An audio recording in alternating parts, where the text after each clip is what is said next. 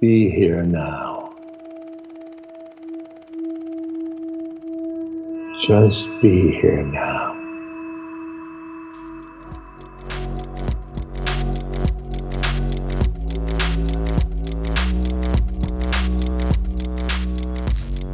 Welcome to the Road Home Podcast with Ethan Nichtern. Join Ethan as he and his guests explore the Buddhist path as it relates to art, culture, activism, politics, Western psychology, and more. If you'd like to support Ethan's podcast, please visit BeHereNowNetwork.com forward slash Ethan.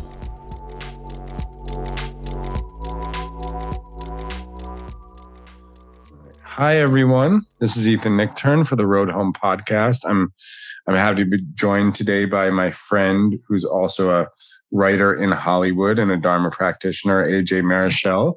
Um, so AJ, welcome to the Road Home podcast. Thank you for having me, Ethan. So there's a couple reasons I want to have you on for a conversation. The, the main reason was because you're you're a writer. You write um, it's not. Is it called fiction when you do it for the screen? I guess it's called fiction. Yeah. Well, I mean, my, uh, you know, one of my entries into screenwriting, one of the uh, hurdles was that I did not identify as a fiction writer. I really more worked in a nonfiction space. And so, you know, it is fiction that we are making things up. Or is I oftentimes when I'm in a writing process, I like to distinguish between telling story and just making something up. So let me be a little more specific. We are definitely telling stories that are in a fictional realm. Yes. Yeah. And the other the other part about us is which I wasn't initially thinking about talking about this at all. Um, and was actually a little hesitant to to even uh, have you on the podcast is we do work together uh, in a student teacher relationship but you actually said that you want you thought that would be a cool thing to talk about like what it's like to actually have a teacher working along the buddhist path and and what that relationship is like for you so I'm gung ho to talk about that with you. Yeah, it's, I mean, it's something that I've had people ask me, what does that mean? What is that relationship like? What do you talk about? And, uh, you know, you also have at times been essential for me navigating my spiritual path while working in this industry. You know, we've had sessions that are very specifically focused on how I'm showing up at work as a Dharma practitioner. So, um, I think it's interesting and maybe somebody will get something out of that. Yeah. So maybe if we could hear a little bit more about your origin story, uh, how you got into meditation and Buddhism, and then also how you got into screenwriting, like how these two sides of you, uh, where they came from. Yeah, uh, my origin story when it comes to uh, Buddhism is I feel like it's sort of a cliche. It was like I was 22 and read some Pema Chodron and was like, ah, this is making sense. Um, uh, but when I look back at my 20s, it really was um, a journey of stumbling toward the Dharma path, stumbling off of it, being like, you know, maybe I actually, that's not as important as I thought it was, stumbling back toward it, off of it. And it was really um, when I had a very formative death happen in my family. I lost a, a, a relative who was my age to terminal illness that I realized um, the way that my life was structured, I was trying to fit spirituality and the Dharma kind of into the open nooks and crannies that were available in my free time or in my bandwidth. And uh, or sort of stacking it on top of other priorities. And I realized I needed to kind of invert that model. And I was like, spirituality is the ground upon which we lay everything else. Um, and so that was when I actually reached out to you for the first time. And I'd read your books and uh, I, I, was I was shocked that we could develop a, a student teacher relationship. But along the way, I had been meditating since I was about meditating in earnest since I was about 23. So I have almost a decade of practice now under my belt. And um, yeah, I think anybody who's been practicing for a while can probably say life is better uh, when you're practicing, less suffering, which to me right. is a form of better, uh, yeah. less needless. Maybe not always more pleasant, but less less less suffering. Oh, self awareness is a hell of a drug. Sometimes it would be really nice to be less less less conscious. yeah, yeah, yeah, yeah. I I agree. Well, that's that's the. I think that's both it, from the Matrix, and that's also. I think there's a line from Bull Durham. Uh, the the world is made for people who aren't cursed with self awareness. Um, so yeah, yeah, yeah, So you know, it's uh, it's it's been a a very important journey for me to be uh, settling into a commitment to a Dharma practice. You know, I took my refuge vows with you. Um, which was kind of interesting because I realized I was a little bit late to the game in terms of other people who were in our, our refuge vow ceremony. But uh, you know, I'd been I one thing that I really appreciate about my Dharma practice is that I was really rattle testing it, if you will. Um, so, you know, something like uh, studying karma was becoming really relevant to me because of experiences that I was having in the world. I was like, oh, this aspect of the Dharma is actually feeling really applicable. Um, or, you know, the idea of, I don't really want to say no self, but non self as my identity started to change as a woman and whatnot. Um, so uh, it's it's it's been a really nourishing journey in that um, I came to the Dharma and it came to me in an organic way, an honest way, and I feel uh, very happily committed to it now. Yeah. So so recently I had on the I am always interested in writing process, obviously the creative expression process altogether, but specifically writing things that didn't actually happen, right? Mm-hmm. The, the, the more fictional writing process. So recently had my friend, uh, you know, one, maybe one of the most famous Buddhist novelists right now, Ruth Ozeki, on to talk mm-hmm. about uh, her new book. And and but you're the first person I think you're the first screenwriter who's been been sure. on the podcast. So how did you be how did you become a screenwriter? Um, so you know, as I said, I'd been writing a lot of nonfiction. I was working in journalism and whatnot, uh, but my nonfiction always had a creative bent to it and a really strong study of character. You know, I, I I'm a really firm believer that the ultimate character study that you could be doing is journaling in writing. Um, the more that you come to know yourself and your own psyche and your own mental processes and bring a sort of radical honesty to the choices that you're making, uh, the better you'll be in your character work as a fiction writer um, because you're you're more attuned to the range of human choices and uh, and also just the complexity of someone's inner world. And so there was a moment when I was, uh, I, I'm actually the holiday season. This is the eight year anniversary of me writing my first script. So uh, glad to be celebrating it. And I was, I told a friend, no, I'm not going to write a script, but I need to be doing something more than, um, you know, kind of cranking things out as a reporter. And she kept saying though you should consider writing a pilot. And i was going to sleep one night and uh, as somebody who loves to overthink i was uh, doing the thing that maybe some listeners might relate to which is running a scenario in my head over and over again in an at times turbulent uh, romantic situation i was in where i was like we're going to be in this room and i'm going to say this and then he's going to say that and then i'm going to say this back.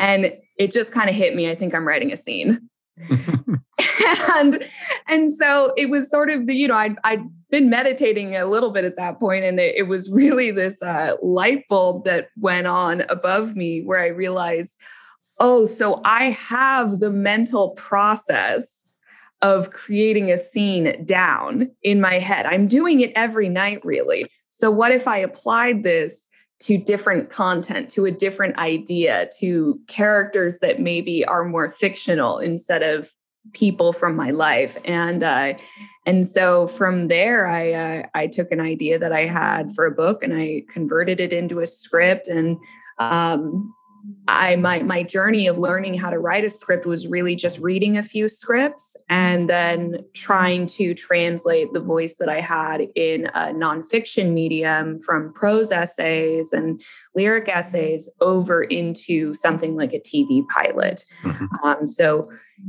it was uh, it was challenging at first. My mom read my uh, about half of my first pilot, and she said, "Well, sweetie, you don't need to put everything in capital letters." That's a thing in a script. If you're, I mean, that's an interesting reader to have. Your mom, right?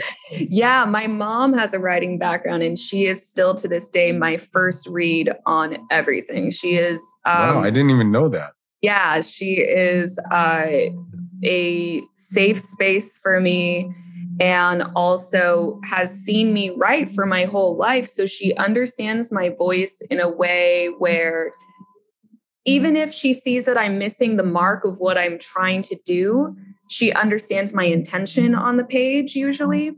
Um, so, and she's also a quick read, which I appreciate. You know, sometimes you send you send a project to somebody and you don't hear back for three weeks, and uh, takes you to a dark place. uh, but yeah, so I'm really grateful. I'm really grateful to have that kind of relationship with my mom. She does. She reads. She reads everything.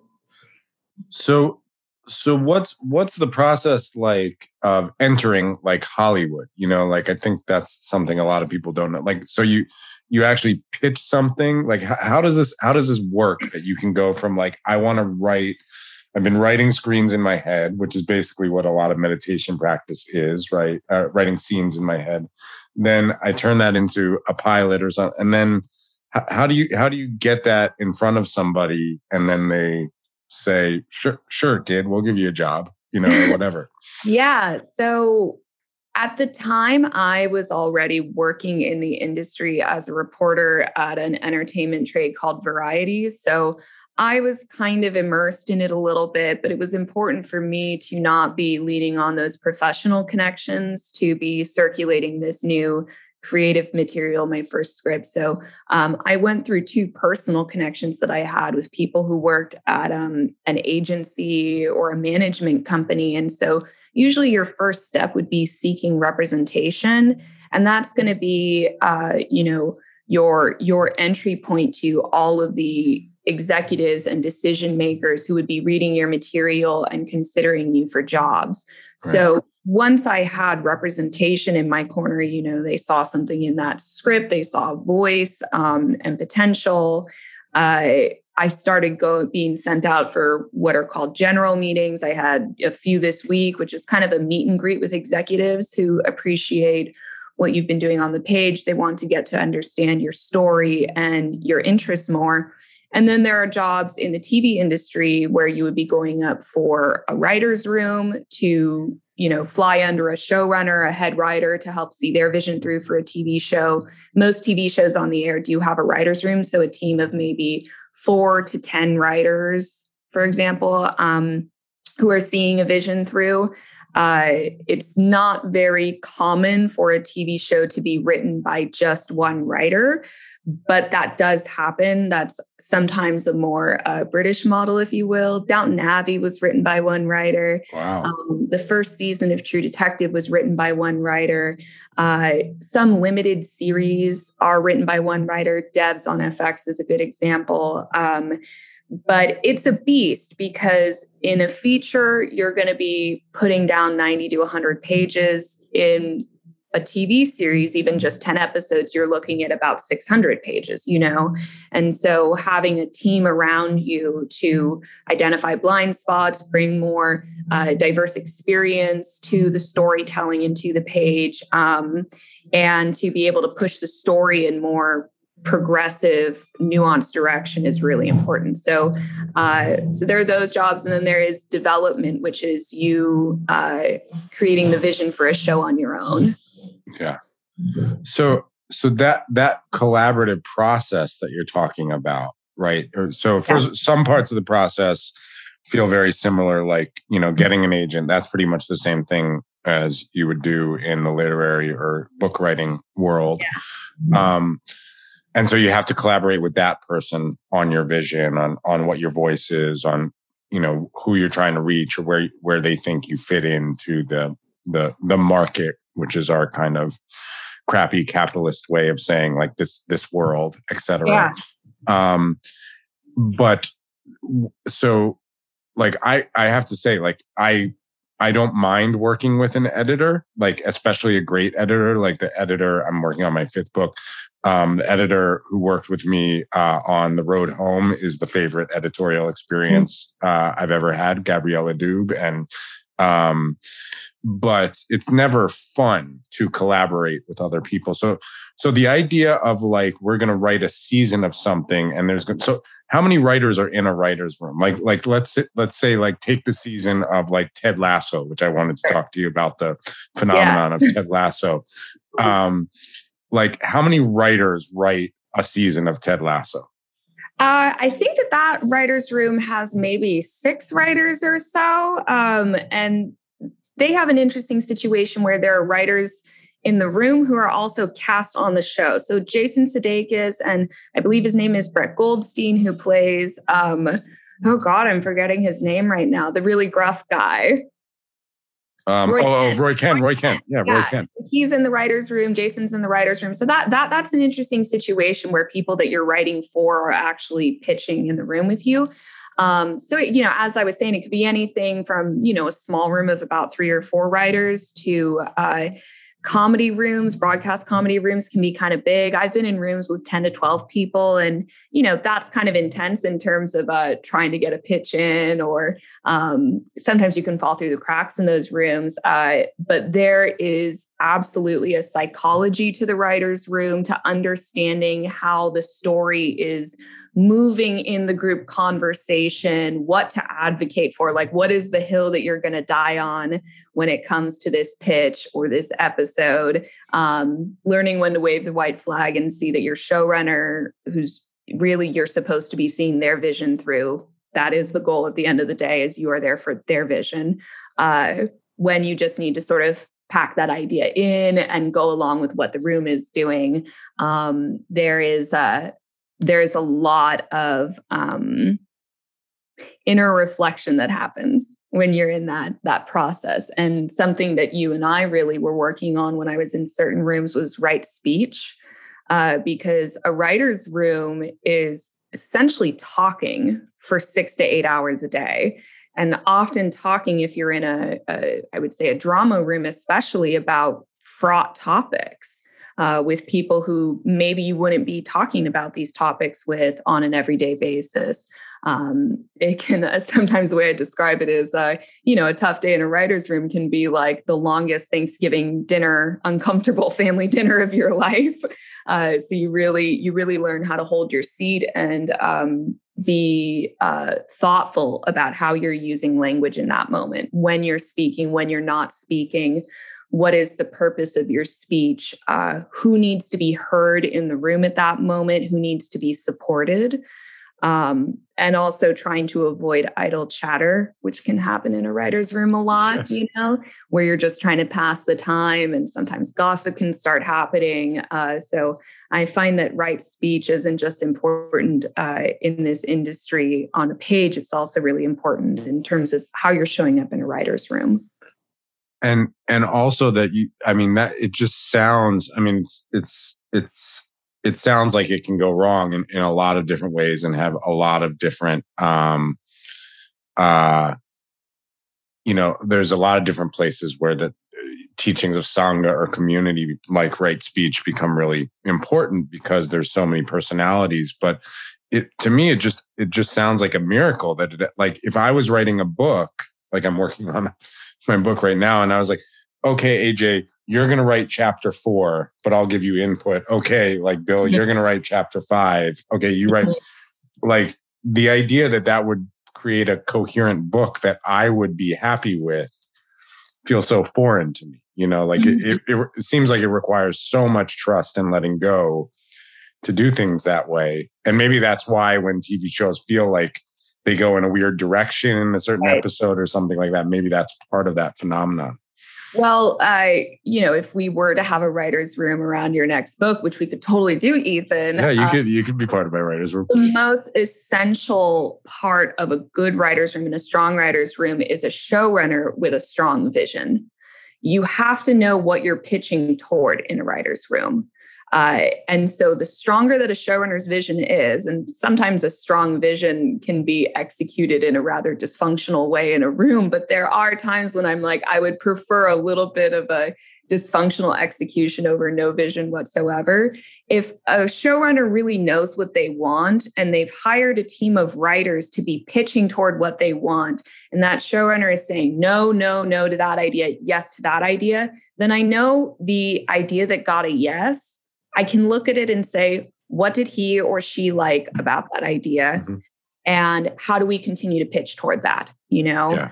um, let's say that they liked something, uh, what we would say is soapy. There was some sort of relationship twist in it uh, that was a little bit off center. So I can understand that's something that the showrunner wants for this show. That's part of their vision. Let's keep pitching toward that.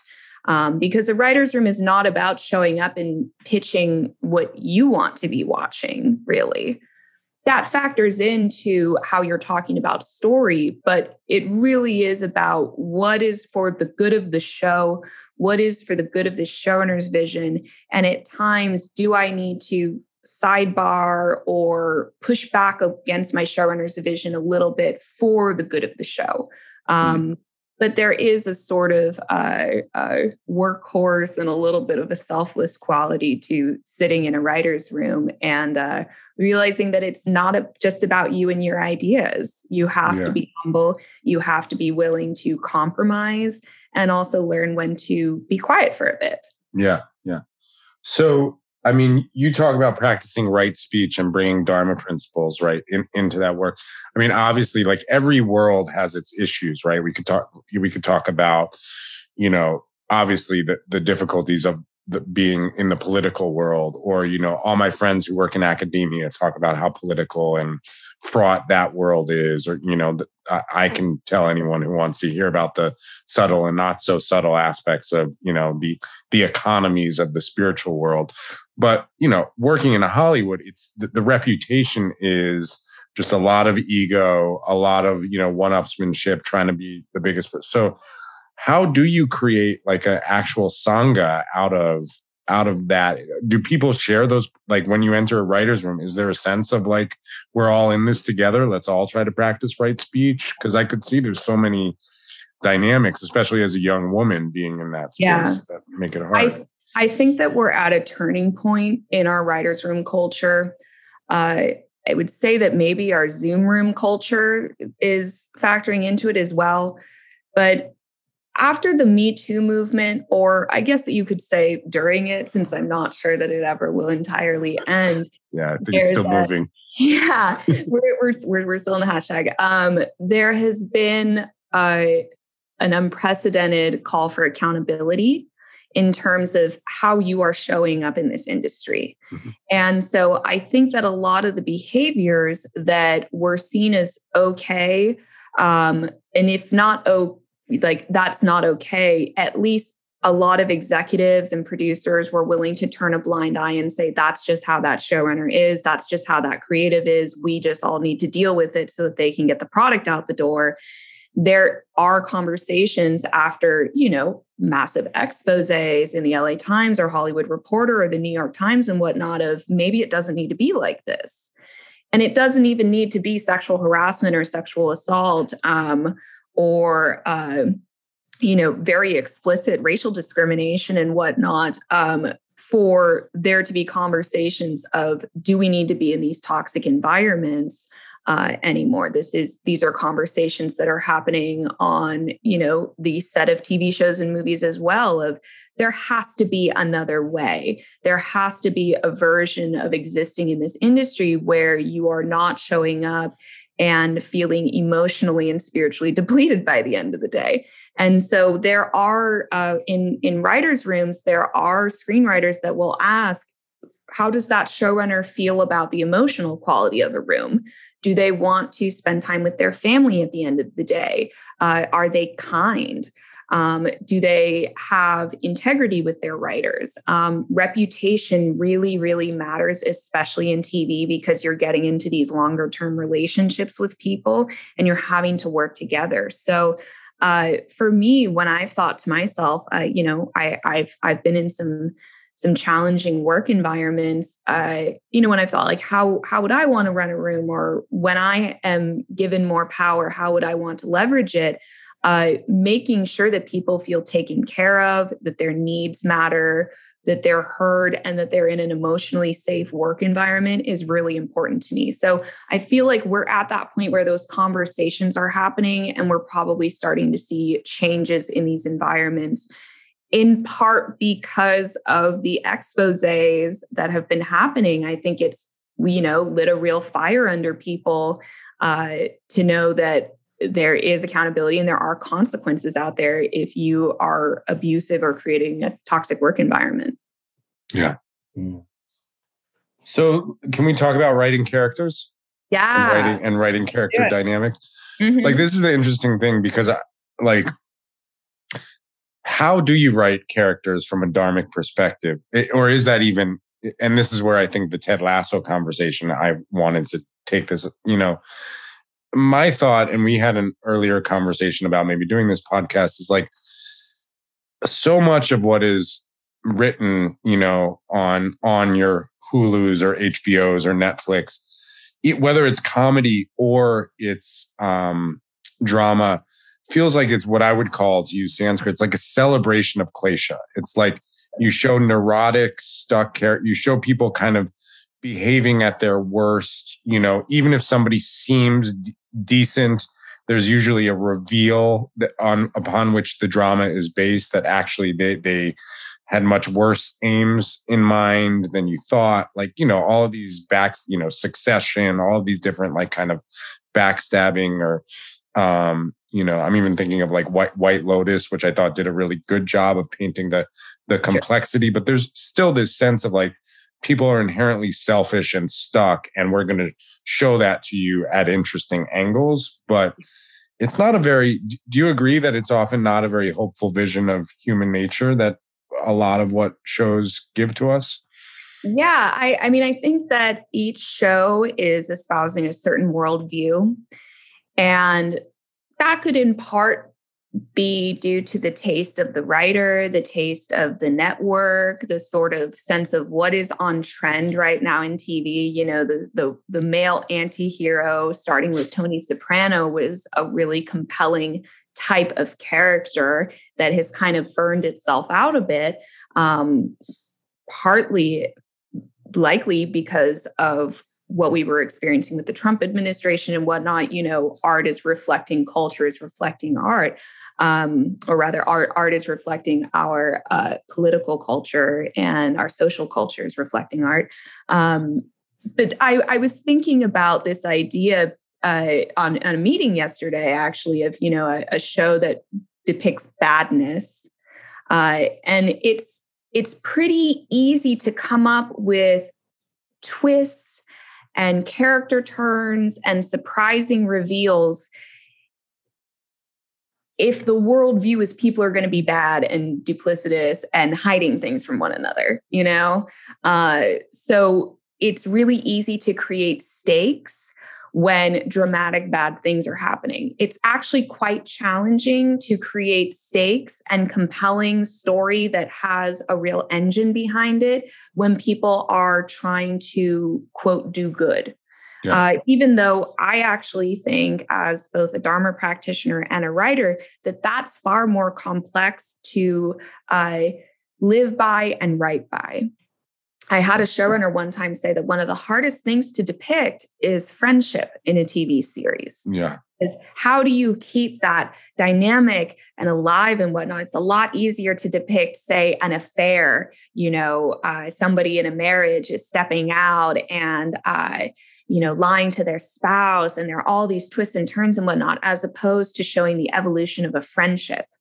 Uh, so it's it's uh, sometimes depicting badness, if you will. That's a very reductive way of describing it, um, but sort of uh, depicting amorality uh, can be the the lower hanging fruit of your character choices. Um, and what's interesting about some shows is that showrunners will say like on our show, this character will never make this choice, or this character will always be trying to strive for this value, you know? And that's an interesting creative challenge to be facing. What happens when in your show we actually are trying to have people uh, making more ethical choices? There's a lot of friction that can come up with that. The same level of friction, I think, is people making more amoral choices. Mm. Um, and that's not, uh, you know, to to say that I'm in any way the moral compass of TV, but when you're in a writer's room or when you're thinking about um, how you know you're you're you're getting a note you're on deadline and sometimes the note is that it doesn't feel like there are stakes here what's happening what's interesting what's the conflict you know that is always the question what is the conflict? And it's really easy to create conflict if you have people you know lying to one another and making yeah. difficult choices. Yeah. It's interesting because i'm working been working on a novel for a while which is more a labor of love but like that is about a group of friends over you know written in three parts over 22 years from 1998 to 2020 who uh have a falling out and then as you know grown up people in their 40s have a have a resolution you know and mm-hmm. it's interesting because the stakes are i wonder if the stakes are enough in the sense of it's really just about the normal ways people fall out and then come back together or at least understand each other late, later on um, in some that, kind well, of that's that's one of the beauties about the novel is that it uh, it allows for that type of slow burn development of relationships and whatnot. Right. Um, you know, I'm taking out a project right now that is very rooted in friendship, and there is the sense of having to heighten the choices that everyone's making uh, heighten the moments where somebody might have at least been perceived as backstabbing and whatnot. And that's because the medium is calling for more propulsion. You have to get someone past that commercial break. You have to get them to tune into the next episode, or even you have to get them to keep subscribing to one of these streaming platforms. So uh, the the need for that conflict driven, stakes driven engine in something like TV uh, calls for a different type of writing on friendship and whatnot than, say, the novel might be uh, offering. Right. Do you have, AJ, do you have a favorite character that you've written or favorite character dynamic? Like, is there one in your writing for television that you say, like, I really liked this one from either from a dharmic perspective or just from a personal taste perspective? Is there some character for you that stood out? Uh, something that I've written on my for my own spec work or on a on a TV show. Either. Either. Um, one answer off the top of my head is kind of weird. Uh, I wrote a pilot. Uh, it's an original sample. I still sometimes take meetings off of it, where I wanted to do a, a character study of a female sociopath. Um, and this was because I had been reading some nonfiction literature about what being a sociopath in our society actually means. The idea that uh, there's a sociopathic spectrum, and that a lot of the qualities that are pedestaled in our culture uh, are actually traits that are exhibited by people who um, could be diagnosed as sociopaths. And so I, I was like, why is it that in our TV and film culture, whenever we see a sociopath, they're usually dropping bodies in the pilot or they're dropping bodies in the movie. When the reality is, there's a higher rate of sociopathy in our politics, among doctors, bankers, stockbrokers, and whatnot, because of these personality characteristics that allow them to be really good at these jobs that we hold in high esteem in our nation. And so I wrote this pilot about uh, female sociopath who works, who leads a nonprofit organization. And it really was about um, both wanting this woman in your corner and being seduced by what she's bringing to the table, and also being sort of frightened of her and pushing her away. And uh, and the characters around her both not understanding her, and sh- she's also not understanding their choices. One thing that interested me in my research was certain sociopaths on these anonymous message boards saying, I don't understand the idea of, quote, killing out of passion. What does that mean? So these people that experience empathy can just do something from an emotion and it's justifiable and they'll get away with it. What is that? And so it was an interesting character study because it required me to bring empathy to somebody who has a completely different psychological reality than me and to consider how we all might be on a spectrum like this to a certain extent our own ability to experience guilt or empathy, uh, you know, might be shifting every day. And so I really enjoyed writing that character. Uh, it challenged me as a young writer, and I and I wanted to write something that might make you, when you finish the piece, uh, look at yourself and your relationships in a slightly different, more curious light. Mm. So yeah, so there is. I mean, it's interesting because I've been like following like Dan Harris and the 10% happier. Uh, they've been talking about Ted Lasso a lot, mm-hmm. you know, like like a lot, a lot. And um there's uh I like that show. Um seems like everybody every like everybody has a crush on Jason Sudeikis, which is a thing I didn't know. Like uh, every- apparently Brett, yeah. What's that? or or Brett Goldstein, apparently. Oh yeah, yeah, yeah, yeah. Um, but uh, yeah, so so I think Jason Sudeikis said when he was on Saturday Night Live, he said we were all surprised that this show succeeded because it's about two things Americans can't stand: kindness and soccer mm-hmm. which isn't ex- the second one. I think is not quite true because I think uh, uh, uh, European soccer is becoming more and more popular in, in the United States. But yeah, um, I feel um, like I have several friends who are waking up at very odd hours, like 4 a.m. and just screaming from their living room because some, some soccer game is on. Yeah, that's been a weird like side fetish for me in the in the pandemic is getting more into your I would always watch the World Cup, but actually getting more into like the club soccer. But um it does. I mean, it's not, it is from a basic goodness perspective, right? So it is about people who are actually trying to do their best rather than there being some reveal of like, no, this person's actually evil or this person's actually just greedy, et cetera. It's like, it's about when you reveal more and more about the person, it's actually, there's this view that at the core of people is basic goodness, right? So that, so it's, it's, it's not a basic badness perspective on the world but I think I love that show because I think they they're managing to do it without it being like um, you know, it's not like Mickey Mouse. It's not like the show has no edge to it. So yeah, I just do you do you watch Ted Lasso? Do you like it?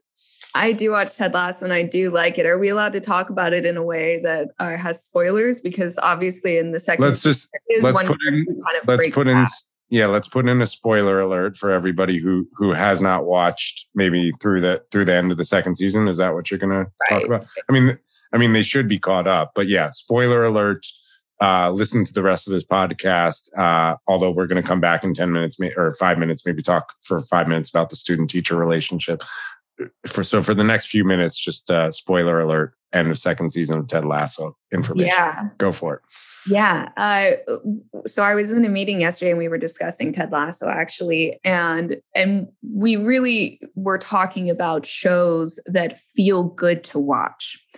And she was describing them. She said, you know, a show like This Is Us, I was describing as a quote, guilty pleasure. And I was like, it's really interesting that we have to couch watching a show that feels good as a guilty pleasure. Um, that there's some sort of uh, uh, implied intellectual inferiority to that kind of content that it's not pushing us to you know think in a in in in more complex aka dark ways. Uh, and so Ted Lasso has been really interesting, uh, in part because I, I, think it's a very well written show, but also the discourse that it created online. Every so often, I would go over to twitter.com. I don't have an account anymore. And Ethan, I respect that you just stay in those trenches. I don't know how you do it. I'm like, you have like, you've reached a level in your meditation practice. Like, I was like, I got to get out. Um, yeah. But I will it's, go. It's definitely World War One trenches. That's a good, I mean, it's World I've War Three comments, Ethan. I've seen you in those comments. Like, you know, you'll you'll you'll engage. Um, so uh I was I was like, damn, the Ted Lasso discourse is brutal out there for season two. And I was like, why is it that people are very uncomfortable or feel that they need to justify watching something that makes them feel all right?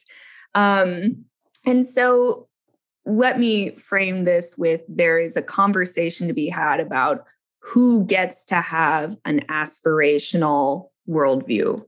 Uh, and at the end of the day, our lead, Ted Lasso, Jason Sudeikis, is a straight white guy from the Midwest.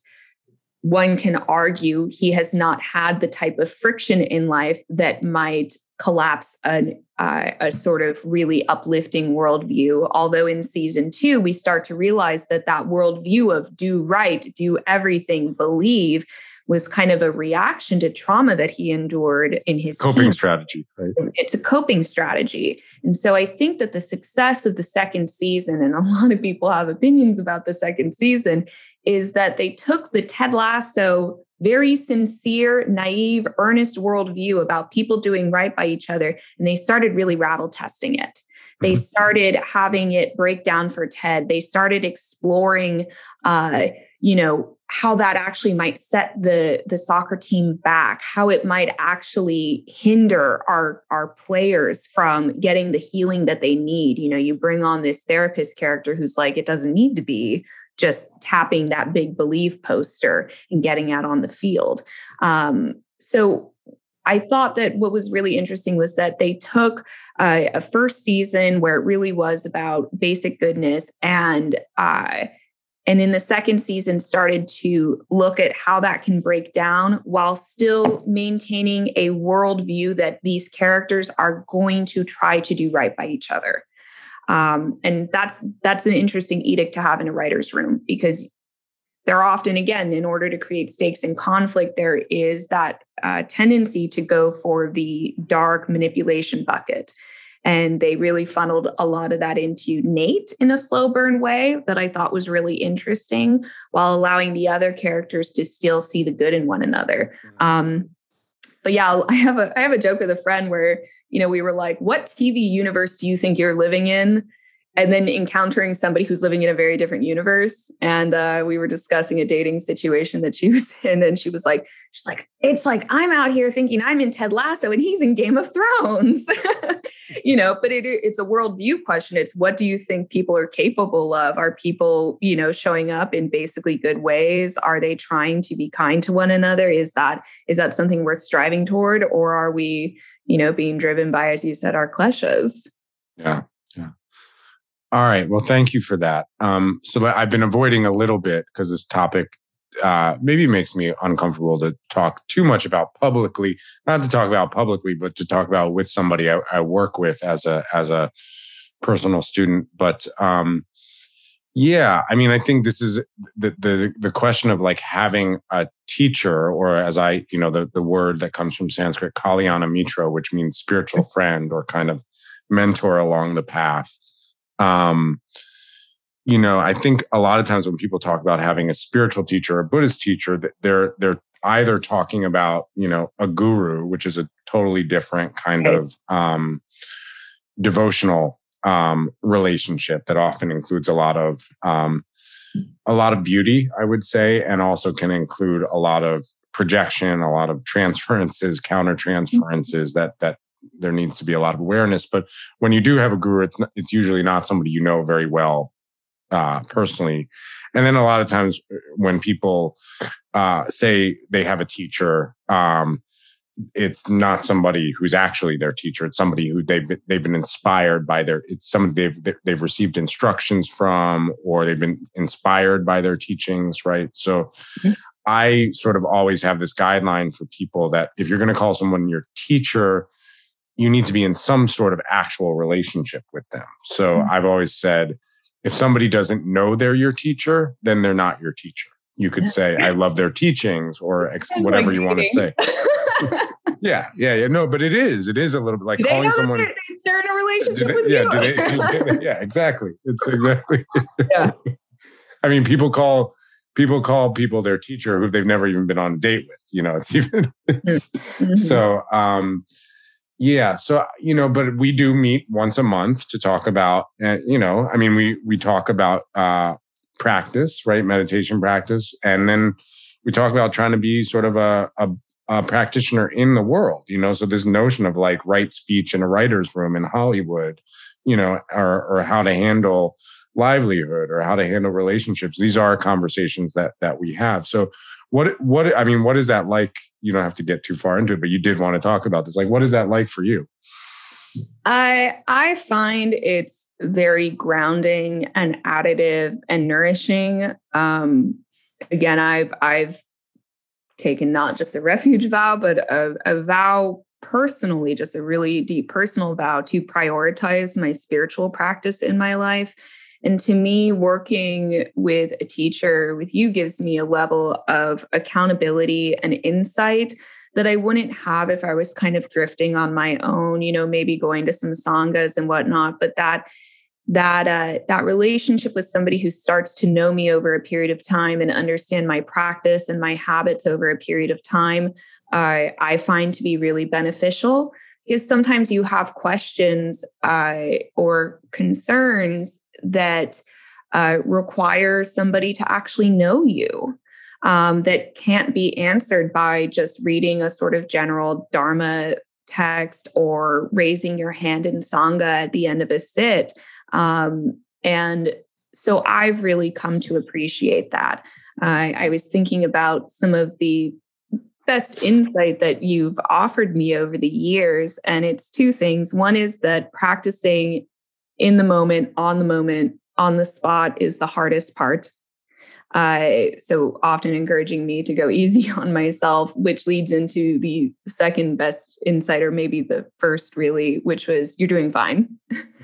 Um, and uh, you know, I think that maybe some people might confuse, especially a, a, a, Dharma teacher relationship, with something that I'm sure you've experienced this of it having to be sort of a borderline therapy type relationship and whatnot. Um, and i think it's important to understand what you're showing up for you know this relationship seeking because that's not like you know that's not your job to be my therapist or anything like that um it's it's much more about guiding how i can be working with my mind and framing a lot of worldly events and personal events through a dharma perspective yeah. um, and that just keeps me rooted in my practice and it keeps me accountable yeah. um, you know there are a lot of gentle nudges that you offer me uh, yeah. which i always appreciate yeah that is that is a question i get a lot when i'm working you know with people one-on-one and i typically meet with people i work with one-on-one once a month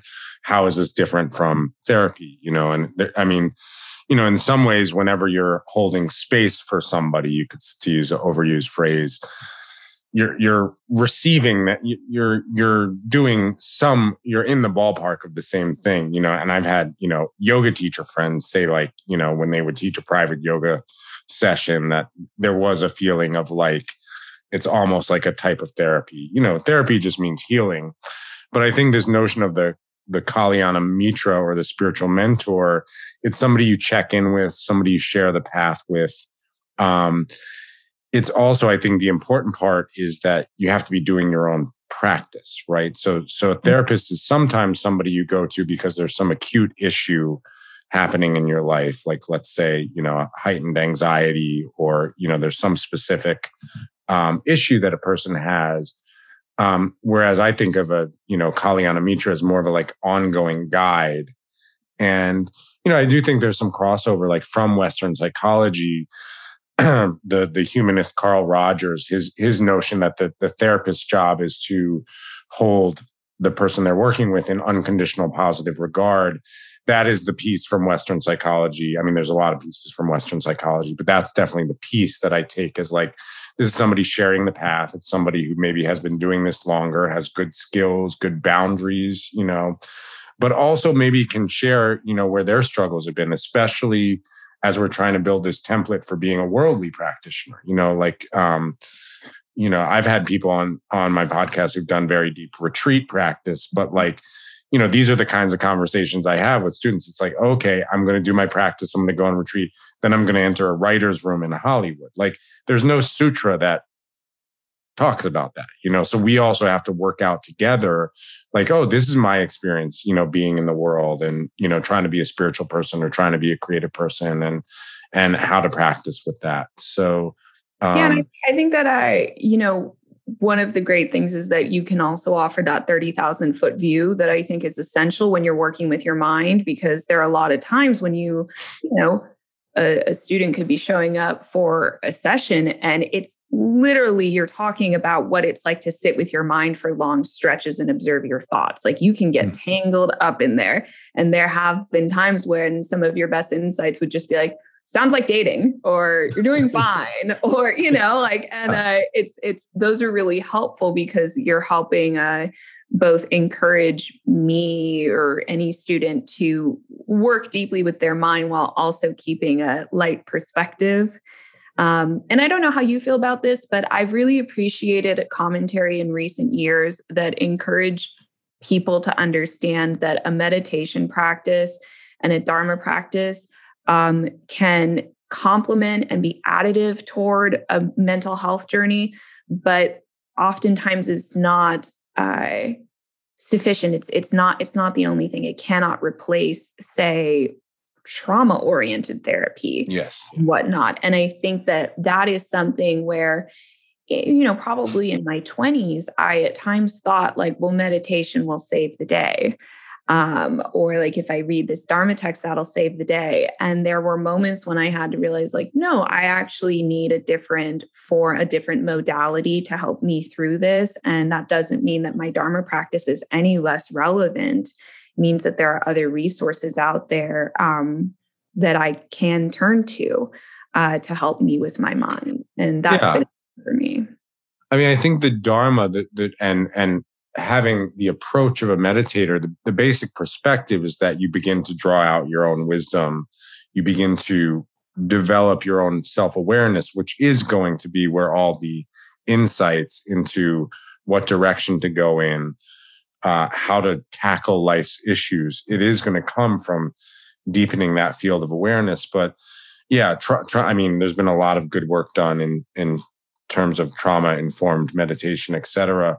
The mm-hmm. issue with trauma specifically, and you know, there's really good Western psychological modalities to work with trauma, EMDR, somatic experiencing, etc. The issue with trauma for the meditator is it literally creates a space that awareness cannot go. So, so meditation cannot really, the, the, basic premise of meditation that you can know what is happening in the mind, which is the basic premise of mindfulness can't really operate in a situation where somebody's been traumatized because they've been flooded basically through a survival instinct into right. a space of non-awareness right and that has to be that can't be self-addressed right mm-hmm. meditation is a great it's a great practice for the things that can be unveiled with self-awareness which is is a lot for a lot of us you know that we we actually learn to trust our own intelligence and as a teacher I feel like, you know, especially when I'm working with, uh, you know, really smart people like yourself who have a lot of uh, wisdom beyond their years, if I may say. Um, now I sound like the old man because I'm about 10 years older than you. Um, that. That'll be emailing you after, like, wow, Ethan, I've really been thinking about that. but I mean, you just try to reflect back to them, like, you, your insights in a session are like, so what are you noticing about yourself? And then the only time you really kind of hold their feet to the fire is when somebody's going against their own insight you know mm-hmm. mm-hmm. um, and so it's it's really useful but but there are we do need other relational formats to work with the parts of our mind where self-awareness cannot operate cannot be uncovered just through a meditative or contemplative process yeah. My last, I guess, thought on that is I've noticed, you know, having worked at practice for a while now, um, that there were less skillful parts of me that would kind of co opt my Dharma practice. Mm-hmm. So, you know, something like, uh, I think that working with desire or having needs, say in a relationship or something, uh, if you have a tendency or something you're working with to potentially suppress those things, uh, or if you have a tendency to say isolate or to intellectualize and whatnot, your mind could end up turning your Dharma practice into just the latest expression of that. And so that was a really humbling turn for me as a practitioner to look at like, am I actually using my Dharma practice to reduce suffering in my life? Or are these patterns now finding these like much more nuanced expressions through how I'm approaching sitting, how I'm approaching Sangha and whatnot. Um, so you know always trying to shine the light of awareness on everything. And that's something that i also appreciated uh, that you would offer me was that sometimes sitting is not the best choice in your practice. Sometimes it is about Sangha, it's about community. You need to connect with people um, and so understanding that a, a, practice can have balance um, and not be so all or nothing and rigid uh, has been very helpful and i think that that comes from that sustained relationship with somebody okay well, AJ Marechal, um, yeah, the, the Dharma of screenwriting. Mm-hmm. Uh, I think that's what we're going to call this podcast, if that's okay. Cool. Um, how, how can people find you online? I'm kind of offline right now. All right. Blessedly. Good. You can only find her through my podcast. Um, well, uh, you're the you're the first person I uh, hat on who isn't trying to promote anything, which is great because that's what podcasts are. So yeah, it's just awesome. nice to talk about things that matter to me and to you and hopefully others. okay, AJ Marechal, uh, so great to talk to you, and um, I hope this has been interesting to everyone listening. It's been really interesting for me. Um, so I just want to say thank you all for listening and. Uh, for the Road Home podcast, this is Ethan Nichtern, and we will see you next time.